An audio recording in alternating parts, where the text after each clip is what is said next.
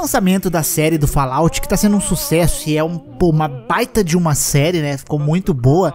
Muita gente tá se aventurando de volta aí nas Wasteland da vida, jogando Fallout 3, New Vegas 4 e também o 76. Por incrível que pareça, eu tava até comentando que a série me deu vontade de jogar até o Fallout 76, que é um Fallout extremamente problemático. E nesse vídeo eu quero falar pra vocês aqui sobre o Fallout 76, eu voltei a jogar ele um pouquinho, ele mudou bastante da época lá do lançamento, que eu joguei que era uma porcaria. Eu quero falar do como foi evoluindo o Fallout 76 e chegando até o que tá hoje ali, que já é um jogo bem melhorzinho, mas que cá vamos falar dele. Deixe seu like, se inscreva aí no canal antes, né? E mano, se liga nessa mensagem aí. Uma coisa que eu gosto nos videojogos é que a gente pode criar um boneco da forma que a gente quiser, principalmente no cabelo. Mas na vida real, né, rola da gente dar umas entradinhas a gente tentar esconder, né? A gente tenta jogar o cabelinho por cima ali, né, pra disfarçar ali aquela calvície que nos assola. E isso mexe com a nossa autoestima, claro, e diferente dos joguinhos que a gente pode instalar um mod ou customizar o personagem para ficar cabeludo, na vida real a solução não é tão fácil assim. Quer dizer, na verdade é. Pois existe uma solução e ela se chama manual. A manual vem ajudando muitas pessoas no tratamento de calvície, onde após o quarto mês de uso correto, conforme o prescrito, você já costuma ver resultados, como por exemplo esse aqui e esse aqui. É tudo avaliado caso a caso, pois existe uma avaliação prévia feita pela manual, onde vai identificar o problema que você tem, o seu caso, e assim prescrever o tratamento correto para você. E não importa o estágio que você tá, você pode procurar tratamentos na manual se você estiver nos estágios mais iniciais até os estágios mais avançados de calvície. E óbvio que a vantagem é que você faz tudo isso online, cara. Você não precisa pegar fila, você não precisa fazer consulta presencial, nada disso, né? E ainda você tem o um acompanhamento ali totalzinho ilimitado pela manual. E inclusive o produto chega até você numa embalagem bem discreta ali, ó. E a gente tem desconto, hein? Se você clicar no link aqui na descrição e utilizar o cupom RADIS40, você ganha 40% de desconto na sua primeira compra Além disso, tem frete grátis para todo o Brasil. Mas vai rápido, meus queridos, porque é tempo limitado. Clica aqui na descrição para saber qual é o seu tratamento adequado e vem ficar mais bonito com a manual. Então, o Fallout 76, cara, ele lançou extremamente problemático é, em questão de conteúdo. Ele era um jogo muito vazio. Você, por exemplo, é, tinha apenas robôs, até porque o Fallout 76, o Vault 76, ele é o primeiro Vault ali aberto por humanos. Então, a ideia do jogo, entre aspas, era mostrar um mundo extremamente vazio e tal. Então, ele ficava muito vazio, muito monótono. Era não eram as coisas muito interessantes para se fazer, era enjoativo, rápido e era extremamente bugado. O jogo ele tinha uma série de bugs que, cara, acaba, acabava com a experiência, era extremamente complicado, era boneco com perna grande, torso grande, e cara, estabilidade em servidores. Eu lembro que tinha pessoas que estavam conseguindo utilizando. É, diversas bombinhas lá no, no jogo, eles crachavam o servidor, era um negócio extremamente problemático. E aí o jogo foi atualizando trazendo muitas novidades em meio a patches, né? E até é, novas expansões gratuitas ali, tipo updates grandes, que foram vindo pro jogo e trazendo algumas novidades. E nós vamos aqui fazer uma quase linha do tempo de atualizações do Fallout 76 para vocês verem o que ele era naquela época e o que ele tem de conteúdo hoje. E no final vou falar para vocês se ele tá divertido ou não. Bem, o primeiro update aí maior, né, foi o Wild Appalachia, o novo primeiro update que adicionava algumas features pro jogo, como por exemplo você fazer novas quests que vinham ali ao redor do mundo. Ele trazia um novo modo de jogo que era o Survival, que trazia um pouco mais de desafio, um foco ali no PVP, né? Só que esse daqui foi fechado, ele foi desabilitado esse modo lá em 2019 pela Bethesda, né? E hoje tem um sucessor espiritual desse modo, então é um modo que veio e depois ele saiu. Trazia mais algumas coisas de dentro do acampamento, de decorações do acampamento também. E você poder colocar uma maquininha de vendas, né? Você colocava os itens ali e deixava lá que ele vendia automático para você. Uma série de novas linhas de quests e por aí vai. Esse era o primeiro grande update. Em segundo, nós tivemos aí já o Nuclear Winter, que foi o segundo grande update, né, do Fallout, e ele trazia um modo de Battle Royale pro jogo que foi fechado devido ao baixo número de jogadores, a galera não aderiu muito, eles acabaram fechando esse mod um tempinho depois. E também eles lançaram aí é, dungeons que são dungeons focadas no endgame do jogo, como eram, por exemplo, as Vaults Raids ali, que você conseguia fazer raids né, em locais que eram bem avançados ali, um conteúdo focado pra galera que já tava level avançado no game. Nós temos o Wastelanders, que é o terceiro maior update de Fallout, e pelo nome, né, o Wastelanders, ele trazia algo que era muito criticado no jogo, que era pessoas humanas. A gente não tinha humanos ali no jogo, a gente tinha robôs e o mundo era extremamente vazio, então você não tinha aquele sentimento de estar tá jogando Fallout. Essa era uma das principais críticas do Fallout 76, além dos bugs, porque ele não conseguia trazer muito aquele sentimento de você estar tá explorando o mundo, encontrar casas, assentamentos, grupos de pessoas que você possa interagir fazer quest, você não tinha isso. E o Wastelanders foi ali o update que trouxe esta feature aí muito pedida pelos jogadores. Além disso, ele trouxe novos encontros aleatórios no mapa, aliados que você encontra pelo mundo e você pode mandar eles pro seu acampamento que você tem. Eles ficam tipo ali zanzando pelo acampamento como se fossem NPCs, tipo no Fallout 4 que a gente tinha o acampamento, tinha vários personagens que iam para lá trouxe um sistema de reputação dentro de grupos e facções, então foi um update muito bem-vindo aí, trazendo uma das features mais pedidas pela galera do Fallout 76 na época. O próximo update foi o The Legendary Run, que apresentou o sistema de temporadas que está aí presente no jogo. Você tem os scores agora, que você pode fazer missões diárias, semanais, etc, e ganhar pontos ali nesse passe, e você vai, né, upar o passe de batalha de acordo com aquela temporada, e você desbloqueia coisas do passe, semelhante ao que a gente tem no Fortnite, e também trouxe ali o sistema de perks lendários que adicionava mais coisas em forma de você buildar o seu personagem. Ah, o quinto maior update que veio foi a One Wasteland for All, que trouxe um foco maior em balancear o jogo, trazendo mais perks lendários e também um modo de PvE aí que apareceu, que é o conhecido como Daily Ops. Que são missões que aparecem todos os dias aí de limpar dungeons feitos para alguns players um pouco mais avançados dentro do game. No meio desses balanceamentos, por exemplo, os inimigos agora escalavam com o level do jogador, que acontece até hoje, e também eles aumentaram o level de alguns inimigos para 50 em algumas áreas e para outros até 100. Também houve alguns balanceamentos em questão de dano dentro do jogo. Foi aí um update focado mais em balanceamentos gerais. E aí tivemos o sexto update que foi o Steel Dawn, que foi o retorno da Brotherhood of Steel pro mundo do jogo. E esse era a parte 1 de dois updates que viria, né? Relacionado a esta quest, a história da Brotherhood of Steel. Além disso, houve algumas alterações no sistema de fome e sede do jogo. Chegou também os shelters, que era uma extensão aos acampamentos que a gente tem no jogo.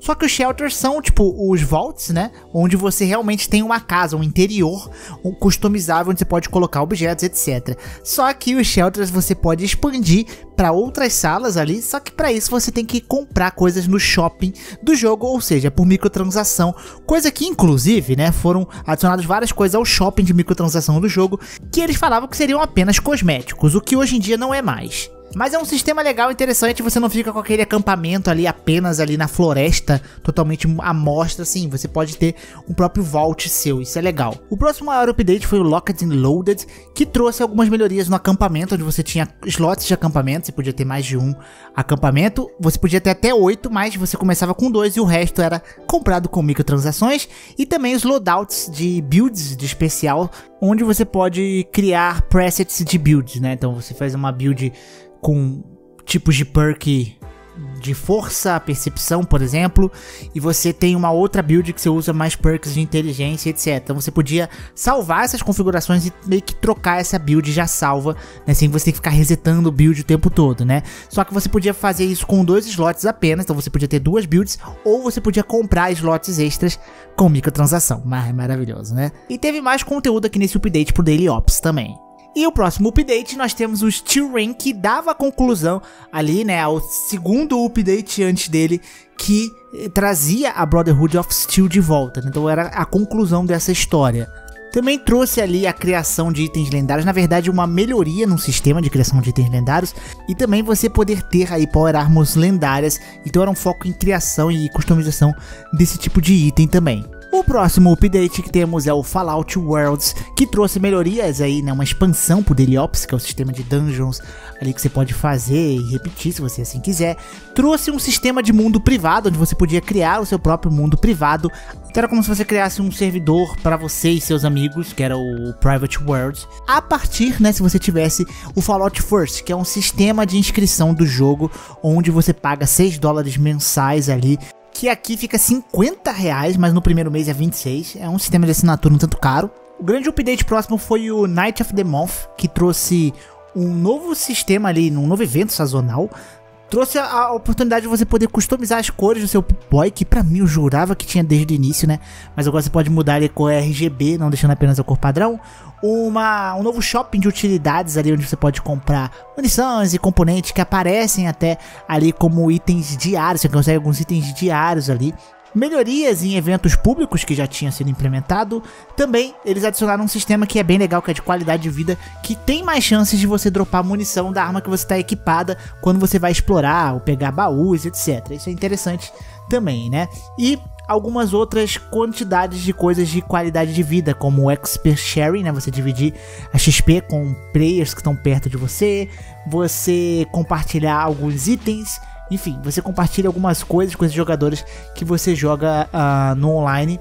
E também itens lendários eles dropam pros mesmos jogadores, assim, por exemplo, se você dropou um item lendário, você vai poder pegar, seu amigo vai poder pegar, ou a outra pessoa que tá ali perto vai poder pegar. Ele não é escasso. E tivemos aí o Invaders from Beyond, que é um tema focado, um update focado em coisas alienígenas.